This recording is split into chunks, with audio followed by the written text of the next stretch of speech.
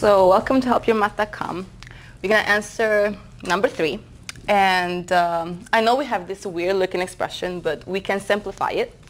So we're going to keep the 6 as it is. We can keep radical of 6 as it is. Now we have radical of 30, but 30 itself can be divided into two factors. We can say that 30 is equal to 5 times 6. So I'm going to write radical of 30 as radical of 5 times radical of 6 over radical of 5. Now I have all multiplications over here. So I am allowed to do what I will usually do when I have a simple integer. I can just simply cross out the 5 over here and cross out the 5 over here. So I will be left with radical of 6 times radical of 6.